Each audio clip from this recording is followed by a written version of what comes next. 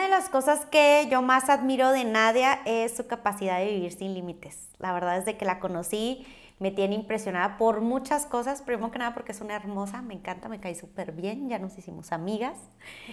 Y en segundo porque me sorprenden muchísimas cosas, muchas, como para ti, Nadia, todo es tan fácil o por lo menos haces que así parezca. Fluyes por la vida haciendo tus cosas de la manera más normal posible porque sé que así es tu vida para ti. Pero para las personas que oímos todo lo que pasa en el mundo, pues obviamente nos parece muy sorprendente que una persona que no oye como nosotros haga que las cosas funcionen con tanta facilidad. Entonces yo quisiera empezar esta plática preguntándote, ¿cómo fuiste construyendo esta manera de vivir la vida sin limitaciones?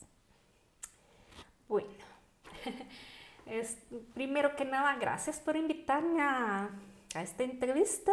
Eh, con mucho gusto lo hago. Eh, como te platiqué ah, el, otro día que yo tengo pérdida de audición en ambos oídos, tengo hipoacusia bilateral profunda, o sea, no oigo casi nada en ambos oídos y este, pues ah, no lo voy a repetir eh, todo, pero este, la clave de cómo fui creciendo es la clave, la clave es mi mamá. ¿Tu mamá? Mi mamá. Sí. Gracias a ella, o sea, no me rendí. Aparte de mi personalidad, también tiene que ver mucho. Totalmente, sí. sí. Pero mi mamá este, me tuvo muy joven y este, ha tenido dificultades, pero yo siempre fui su grande amor Ay, perdóname, hermano, que no te Hermano, si estás escuchando esto, lo siento. Pero no, no. Pues soy su primera hija, obviamente, pues toda la atención en mí. Y este, ella se esforzó mucho. Este, vivíamos en Bachíniva y nos vinimos a Cuauhtémoc para que yo pudiera aprender a hablar. Y luego ya le dijeron de una escuela mejor, mejores terapias, y ya nos vinimos a vivir aquí en Chihuahua. Y así con una maletita dijo, no, nadie necesita crecer, no se va a estancar en un pueblo que no hay oportunidades. No, vinimos a Chihuahua, estuvimos en el Instituto José David y ahí tuve mis terapias y también este, las terapias son de 40 minutos y todos los, no, no todos los días, eran como de tres veces por semana. Entonces no es todos los días. Y ella me tenía que dar terapia, ella misma, las maestras le decían cómo. Y así, todo el día conmigo, las 24 horas. ella sí es mamá 24/7. ¿En serio? Y desde que nos levantábamos siempre me decía, esta es una taza, está hecho de cerámica, es, es, un material de barro y me explicaba todo. Es de color tal y así, cada cosa. Entonces, eso fue lo que me influyó. Este, siempre estuvo atenta a mí, siempre. Nadie, tú puedes olvidar, él no puedo. Ah, pues sí, yo puedo, yo puedo. Y así fui creciendo. Yo soy demasiado independiente. Mi mamá muy sobreprotectora, pero como todas las mamás es muy normal. Pero yo, mujer, luego con sordera, pues imagínate. Mucha preocupación. sí, sí, hay mucha preocupación. Pero dice mi mamá que yo siempre, no, yo colada con el poco vocabulario que tenía, yo sola, sola. me monté al caballo a los tres años y quería cuidarme el mío sola y yo así chiquita. Toda chiquita. Entonces, o sea, muchas cosas lo opté por mí misma. O sea, dije, yo puedo, ¿por qué no? claro, mi mamá es el mejor ejemplo. Si tú tienes un buen ejemplo y con todo lo que tienes, pues vas avanzando y te vas quitando esas limitaciones. O sea, ¿por qué los demás sí pueden y yo no? ¿Por qué no? Y una vez que este, rompes un obstáculo, ves que puedes, quieres más y vas escalando, voy por más, voy por más. Y dije, bueno, la primaria va a terminar, a ver qué pasa. Terminé la primaria y luego entro a la secundaria. Me, la secundaria fueron de cuatro años. es una secundaria diferente. Estuve en la amiga de la obrera. Es de lunes a sábado. Y sí, fue muy pesado porque tiene una carrera técnica aparte. Ah, Por eso es de cuatro años, o sea, soy secretaria ejecutiva bilingüe. ¡Wow! Ahora entiendo todo. Y, ahí viene. Ahí, o sea, ahí salía las mejores secretarias. ¿Por qué me metieron a esa secundaria? Porque dijimos, o sea, mi mamá y yo hablamos. Bueno, en caso de que yo no pueda más, me pongo a trabajar de secretaria. ¿Cómo? Pues a ver cómo lo hacemos.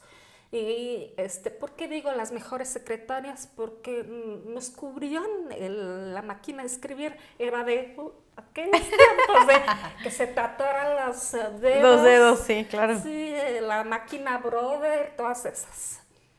Y nos cubrían con una tela y a escribir así, sin ver el teclado. Y luego las libretas de taquigrafía, me tocó la ta- taquigrafía una, ta- una libreta diaria de, en ambos lados de 80 páginas. Imagínate, hasta se me hizo callo. Claro. Bueno, entonces, este, mm, terminé la secundaria, los cuatro años, fue pesado. Sí se fue pesado, fue una de las etapas escolares más pesadas. Mucha tarea, este, aún- y hacía muchas cosas porque también estuve la escolta.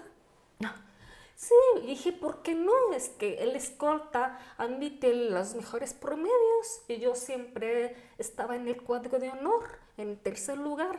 Nunca llegué a primero por, por falta de oír, pero eso no, no me limita. Ay, me quedo, no, pues yo me esforcé hasta donde pude. Y dije, ¿por qué no entro a la escolta? Siempre me han gustado los símbolos patrios, que los soldados, todo eso me encanta. Y dije, bueno, voy a entrar a, a la escolta.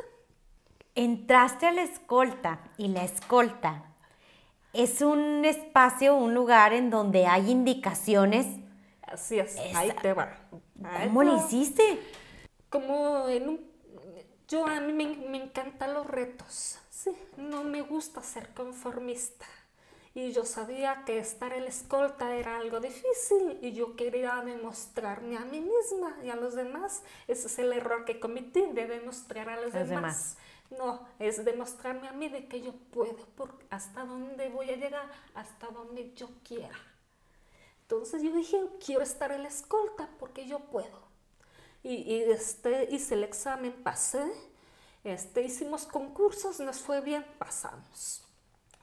No más que hubo un tiempo, ah, el escolta, déjame te explico. El escolta, ya ves que están las posiciones, que Sí. la comandante, la banderada y lo demás no me acuerdo. Y yo estaba atrás, que retaguardia izquierdo. Y me pusieron atrás porque pues así me puso la maestra. Entonces la comandante, cuando daba indicaciones, volteaba y yo leía los labios a la mitad. Sí. Guau. Entonces, eh, pasó el rodado, pues. Pero ella en un acto de empatía, de solidaridad, de hacer equipo contigo. Sí, todas, eh, o sea, el equipo, todas me apoyaban en eso. Sí, tuve muy lindas compañeras, amigas, todavía las recuerdo. Sí, este, fueron muy empáticas conmigo, incluso la, la maestra de educación física. No más que, mm, voy a decir, pero eh, en esa escuela es religiosa, eh, la directora es una monjita, entonces como que a la monjita no le pareció que yo estuviera ahí, se puso nerviosa, eh, porque empezamos a hacer presentaciones en eventos importantes de gobierno, de muchas cosas. Y, y habló con la maestra para que me sacara la escolta porque tenía miedo que yo me equivocara por no ir. Por si hay algún ruido yo no pudiera percatar y hiciera algún paso mal y hacer el ridículo, según ella. Pero yo jamás hice el ridículo, jamás. Y la maestra, pues es su jefa, ¿qué hace? Sí, ¿qué hacía? Me habla conmigo, oye, ¿sabes qué? No me sacaron, me pusieron de suplente. Yo pues me puse triste porque pues yo estaba decidida de que yo puedo y que alguien me quita eso Que no fue por ti. no fue por mí. Y, este, y le conté a mi mamá, y mi mamá, ah, sí.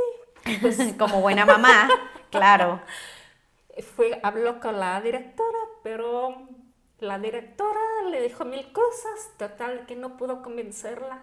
Pero para esto, como yo estaba en el Instituto José David, en el Instituto José David hay una parte que se llama consejo, que son empresarios chihuahuenses que hacen donaciones al instituto. Y muchos de ellos hacían donaciones a la secundaria. Wow. Pues de alguna manera se enteraron y hablaron con la directora. Yo creo que le dijeron, No va a haber dinero", o la mochila. Pues porque po- este, poco a poco me fueron dejando, porque una de las integrantes se le hizo una hernia, tú la tuvieron que operar, y como yo era la suplente, Tuviste que le tenía entrar. que suplir. Claro. Y le demostré, lo cual equivocada estaba. Sí. Eh, ¿en ¿Cómo le demostré? Había un concurso muy importante que los jueces eran soldados, eran sargentos así de alto nivel. Y pues ya hicimos la rutina y, y muy bien. Y eh, sí, o sea, la rutina y al final te hacen unas preguntas y nos dan un, un cuestionario, unas preguntas preparadas para que vayas preparando. Pues ya dije, no me van a preguntar a mí. Y dije, no, no, no creo. Y nada. Te Hicimos la rutina y ya. Y nos, eh, la hora de las preguntas me dice, retaguardia izquierdo. Y yo así, no, no, no, no. ¿Por qué me pregunta a mí? Y yo pensando así. Y luego no le entendía nada porque tenía la voz demasiado grave, demasiado. Yo los sonidos graves batallo mucho para oír. Y luego tenía bigotes, imagínate, o sea, yo leo los labios, en la voz grave y luego con bigotes. Ay, no, fue muy difícil. Y, y- yo así gritándole, no, escucha, señor. Así. Ah, le Sí, dijiste. yo le grité, o sea, con voz de soldado, como ellos hablan. Ah, sí, ok. Sí. Y, y dice mi mamá que se oyó en todo el gimnasio. Y este. Y el juez, no me acuerdo si era sargento o coronel, no sé, pero era un soldado. Como que, ah, caray, y me volvió a hacer la pregunta y no la entendí. Y a la tercera me cambió la pregunta, pero yo ya sabía la respuesta y le contesté muy bien. Y ya pasamos la siguiente ronda, gracias a mí, porque la rutina, si nos equivocamos, nada más porque contesté esa, esa pregunta, pasamos la ronda. Ya hicimos la rutina de nuevo y nos dicen, tenemos ciertos puntos, pero van a pelear por el tercer lugar con otro equipo. Y dije, no, pues ya no me van a volver a preguntar. Me hici- hicimos la rutina así. ¿Y qué te ya tocó cuando la tocan pregunta? las preguntas, era otro juez. Retaguardia izquierdo, yo, Otra vez. ¿por qué me- Pero a él sí le entendí porque él me, sí me conocía. Entonces sí, ya me hizo una pregunta, contesté muy bien, por supuesto, porque yo estudié, soy una ñoña en, en civismo todo. Y, y le demostré que sí puedo, que sí. Y ya, y ganamos el tercer lugar. Y al final el, el juez habla con mi maestra de educación física y, nos, y le dice, ustedes superaron, por mucho hubieran ganado el primer lugar, pero por reglas nada más estaban peleando por el tercer lugar, nada más por la respuesta de nadie. Fue lo que superó y algo así. Y también la rutina fue excelente, o sea, superamos muchos puntos aparte. Y, y la maestra le pregunta, ¿y por qué le preguntaste a Nadia? Ah, porque Nadia es el punto débil del equipo para ver si funciona. Entonces, yo me sentí, ay, o sea, la gente siempre, o sea, acepté que soy el punto débil, pues sí, pero yo no me lo creo que sea el punto débil, no, porque si los demás lo ven así, pues es su problema, no para mí. Entonces, eso es vivir sin límites. Para mí Exacto. sí. Ah, para ellos soy un punto débil, débil, pero para mí no. Yo voy a demostrar que no, y yo me demuestro a mí misma que sí puedo, avanzo. Y, y mira, ganamos. Y luego, y la monjita dice, mi que está rezada en el rosario. Ah, díganme esto que estás haciendo. No, no, fue así como de película. Y pues vio que estaba muy equivocada y ya.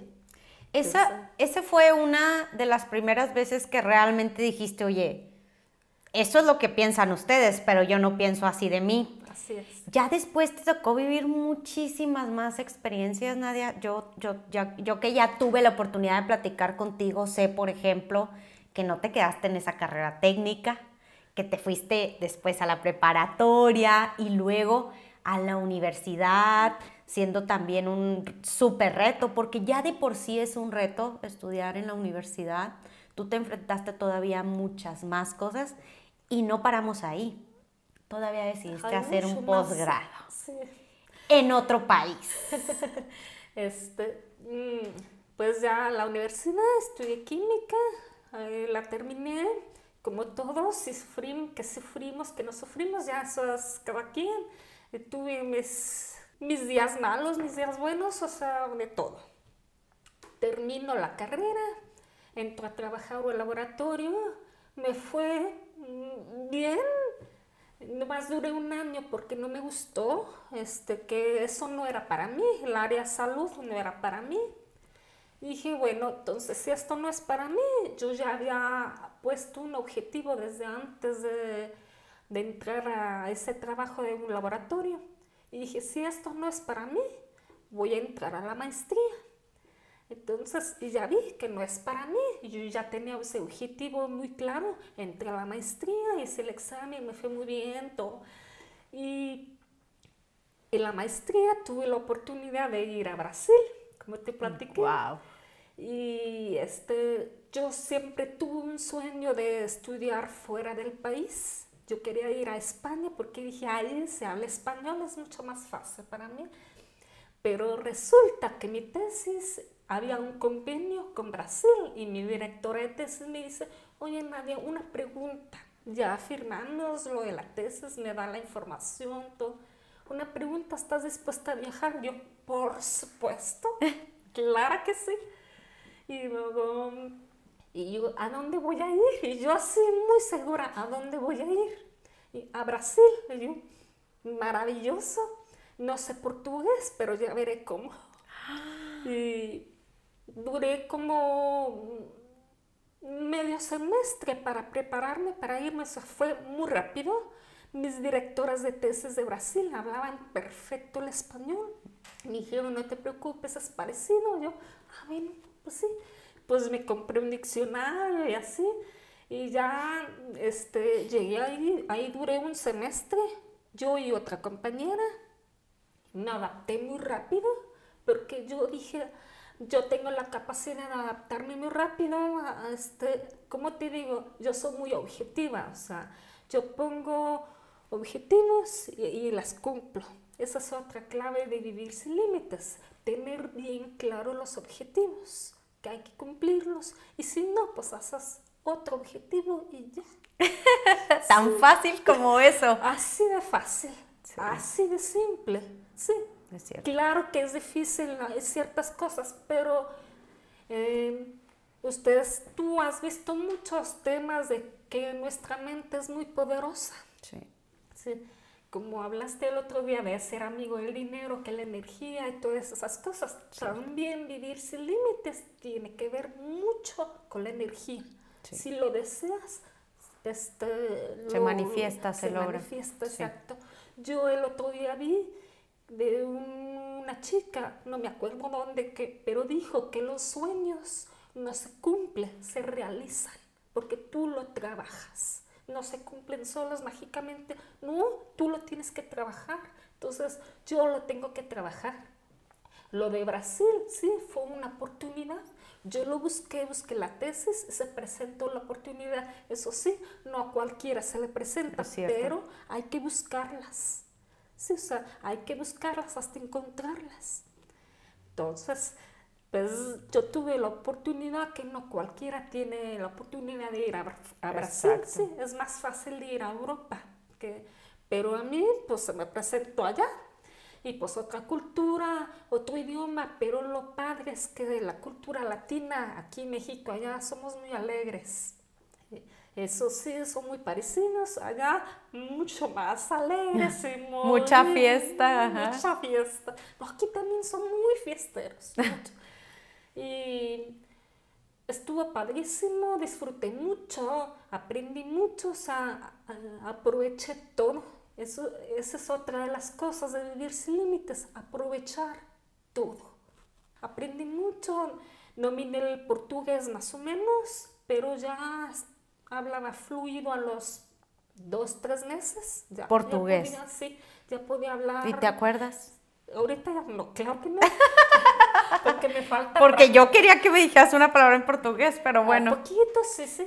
Así, este, vos se fala portugués, cosas así, no me acuerdo mucho. Algunas frasecitas, sí. Ajá.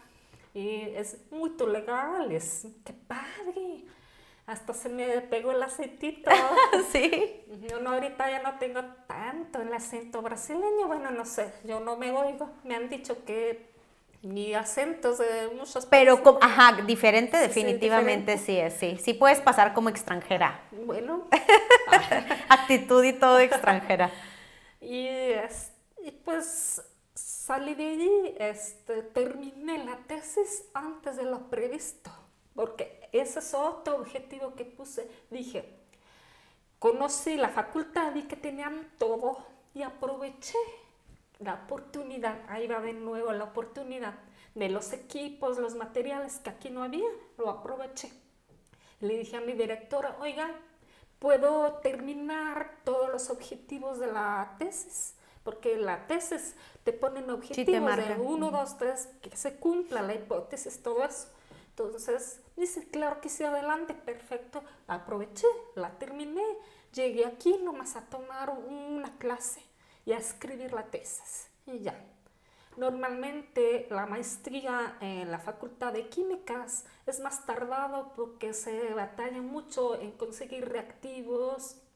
Las investigaciones se pueden alargar y muchas cosas. Sí, son maestrías muy diferentes que las de administración, eso son más metódicas, pero esto es más este, práctico, más de investigación, más echarle coco y todo eso pues yo logré todo allá, nomás vine aquí a tomar la materia que me faltaba y a escribir y salí de la maestría en dos años. Esa es otra de las cosas de que hay que ser constante, esa es otra clave, ser constante.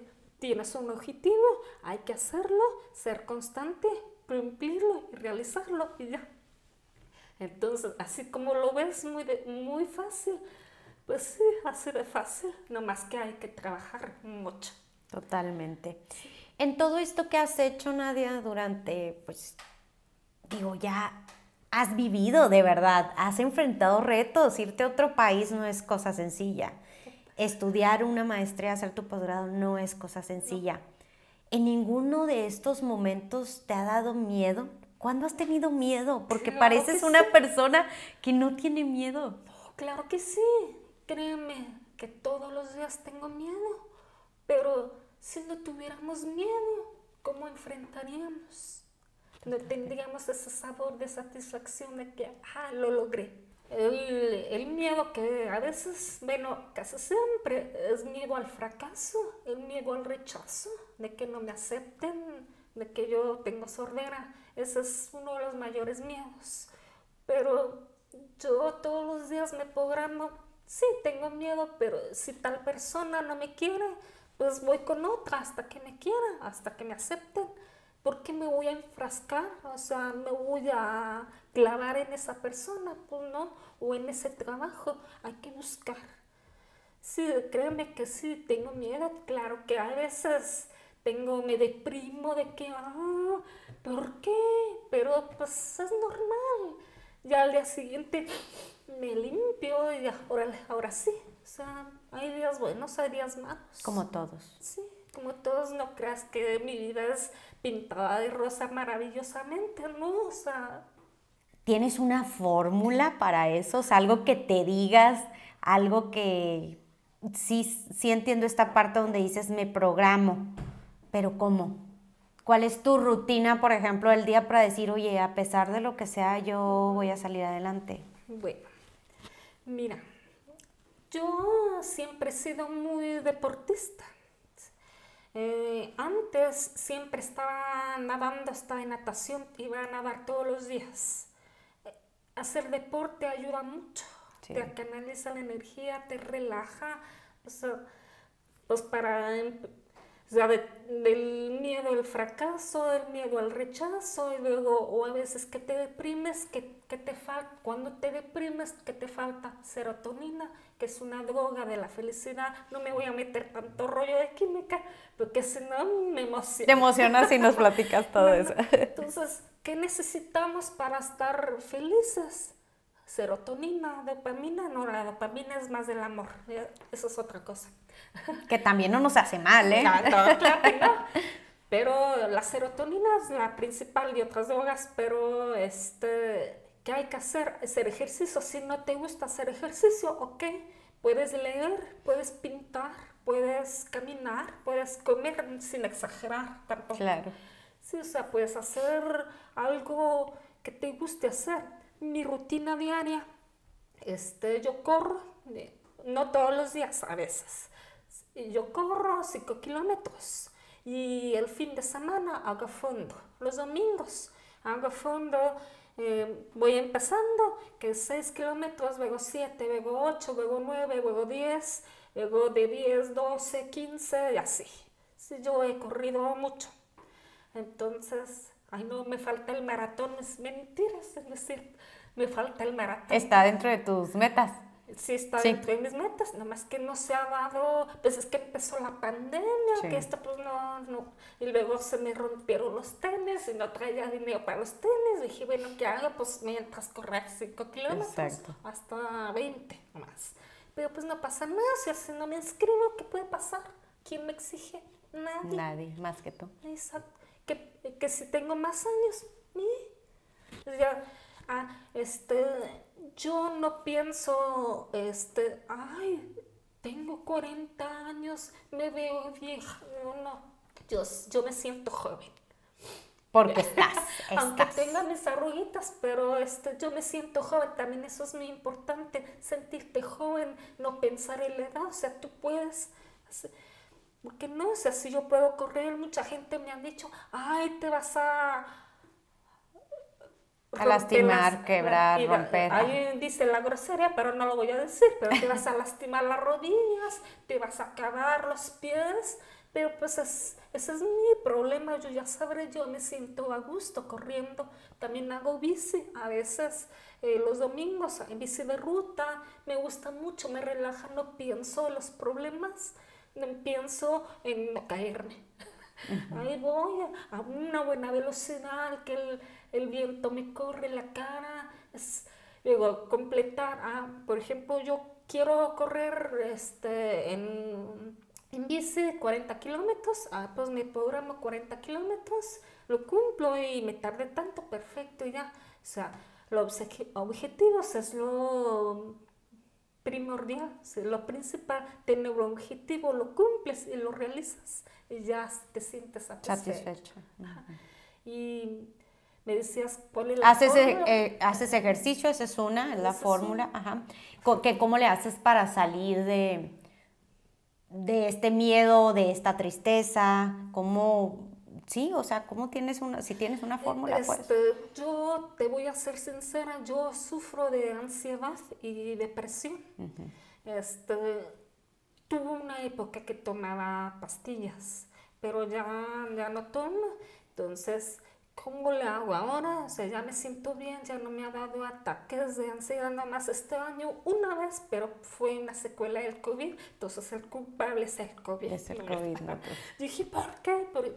Este, pero correr a mí me funciona. Hay gente que no le funciona, le funciona con tomar pastillas, lo cual es, está, bien. bien. Sí, sí, correcto. Y, pero, eh, ¿qué le funciona? Pintar también, pintar, leer, hacer comida, hacer algo que te guste, algo que saque de tu rutina. Esa es eh, la fórmula, yo creo que cada quien debe de plantear su propia fórmula, no la tiene que copiar igual, igual a mí, o sea, yo no se la copia a nadie, es lo que uno se siente a gusto, o sea, yo busqué qué puedo hacer para sentirme mejor, esto. ¿Te dices algo a ti misma? O sea, te dices, te, te mentalizas de alguna manera, te repites algo en tu cabeza para bien. Por ejemplo, no sé, yo puedo con esto, yo este, soy poderosa, soy fuerte. Mm, no. No. La verdad, mm, como que me acostumbro. Antes sí, sí me hablaba mucho de esto, pero como que ya no, o sea, como que me programo, ya está. Ya, estás programada, sí. Ya, o sea, ya como que el cuerpo lo hace ya automático. Ah, voy a correr. Sí, pero si hay días que digo, ay, me siento ansiosa, ¿qué me falta? Correr. Correr. Ahí voy, ahí voy yo corriendo. Ya sé, uh, este, también a veces llego enojada y armo un arreglo y ah, me gusta mucho hacer los arreglos, que de eso trabajo. Hacer arreglos también relaja muchísimo. Eh, a mí me ha ayudado mucho, por eso es otra de las cosas que puse este negocio. Sí, este, armar arreglos florales eh, es lo mejor que me ha pasado para mí, sí. ¿Cómo es emprender con, con sordera? ¿Qué, ¿Qué, qué, dificultades has tenido? Mm. O tal vez no ha habido ninguna dificultad como tal diferente a un emprendedor normal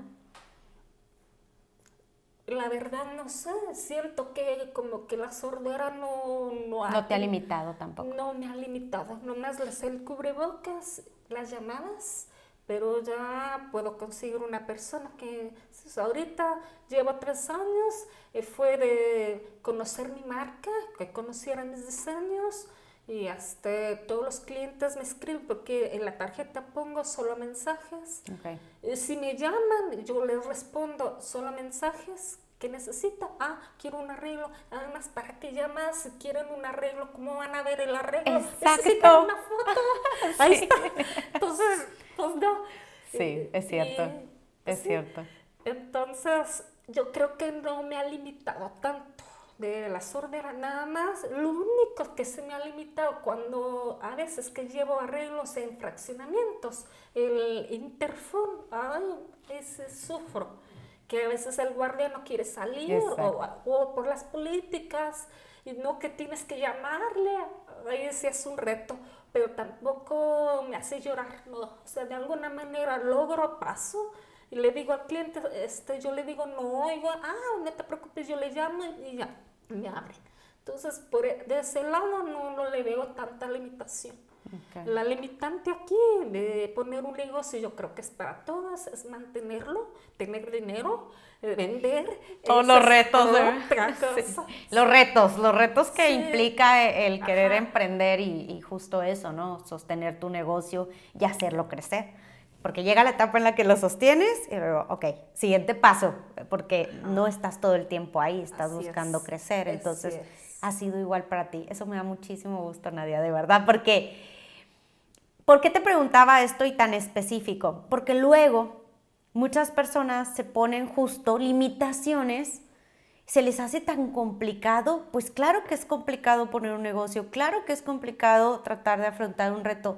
Sin embargo, personas que tenemos todo por delante y todas las herramientas, por así decirlo, un cuerpo sano, que todos tus sentidos, todas las cosas para lograrlo y que todavía te digas que no. Eso te iba a comentar de que sí me ha tocado ver personas que digo, tienes todo. Hay personas que son buenísimas para convencer que tienen labia, que pueden lograr lo que sea, tienen eso y yo así, y lo hago, aprovechalo. hay personas que no tenemos esa habilidad de labia, de convencer, de... Sí, ¿por qué no ellos? Es porque se quedan conformistas. La palabra conformismo no me gusta, ¿sí? Porque están allí en, su burbujita. O sea, salte, o es la grande o rompela, eh, vive, es que a mí me encantan los retos, me gusta ver a ver qué pasa. Y yo sé que puedo fracasar, a lo mejor no fracaso, pero pues si no lo intentamos, ¿cómo vamos a saber qué va a pasar? Cierto. ¿Qué le dirías a, todas, retomando esto, esto final, qué le dirías a todas aquellas personas que a todo le ponen pero o que se les hace tan complicado todo? Que si tuvieras la oportunidad, bueno, en este momento tenemos la oportunidad porque tenemos un micrófono y esta plataforma en donde realmente nos escuchan muchas personas y nos ven también. ¿Qué le dirías a todos ellos para ir más allá y vivir realmente sin, sin limitaciones, sin límites?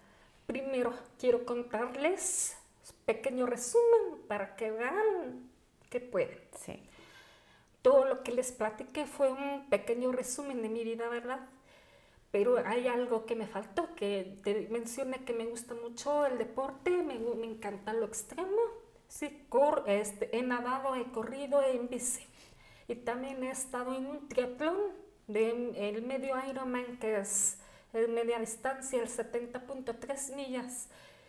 Este, son 1900 metros de natación y luego 80, 90 kilómetros de bici de ruta, 80 o 90, no me acuerdo, y 21 kilómetros corriendo.